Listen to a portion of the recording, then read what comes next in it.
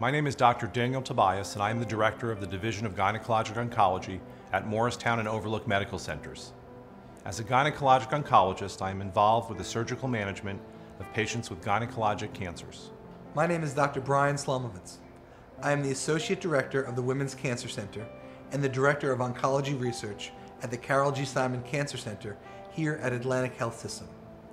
I am a pelvic surgeon who treats women with gynecologic cancers and complex benign gynecologic disease.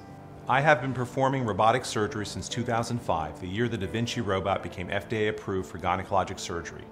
The Da Vinci robotic surgical system helps perform laparoscopic hysterectomies and surgical staging of patients with endometrial, cervical, and even early ovarian cancer.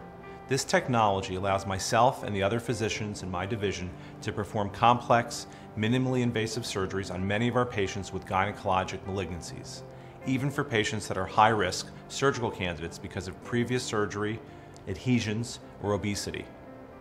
As a result, the majority of our patients benefit from shorter hospital stays, usually one night in the hospital, decreased postoperative complications, less pain and discomfort, and a more rapid return to work and normal activities.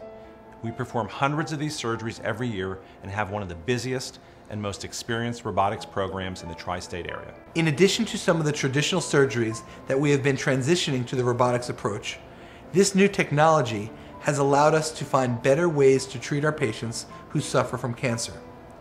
For example, we are able to offer deep pelvic sentinel lymph node biopsies for our patients with endometrial and cervical cancer. Using an advanced fluorescent imaging system like night goggles used by the military, this technique has been shown to help us adequately identify spread of disease with a lower chance of bleeding and lymphedema or swelling. Whether a woman suffers from cancer or a benign condition like endometriosis, we are better able to identify and remove disease that should not be present.